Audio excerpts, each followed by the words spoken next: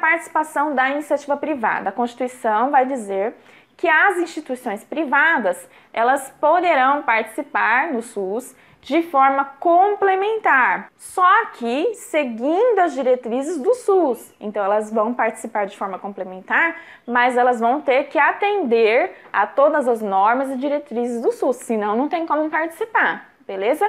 E como que vai ser feito isso? Através de contrato de direito público ou de convênio. Quais instituições privadas têm preferência aí nessa participação? Tem preferência as entidades que são filantrópicas e que são sem fins lucrativos, né, pessoal? Mercenário não dá, né? Ainda sobre a participação da iniciativa privada, a Constituição traz que é vedada, ou seja, é proibido a destinação de recursos públicos para auxílios ou subvenções às instituições privadas com fins lucrativos.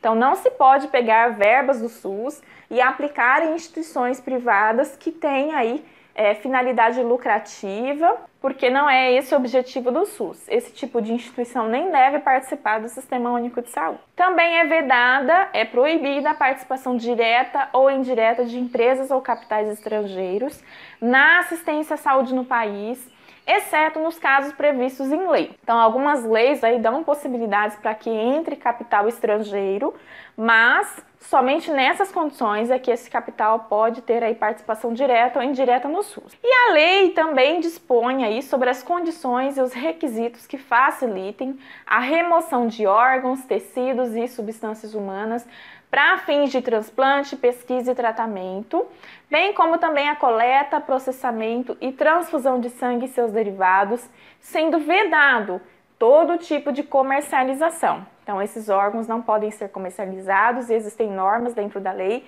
que rege todos os procedimentos relacionados a transplantes, a remoção de órgãos e tecidos.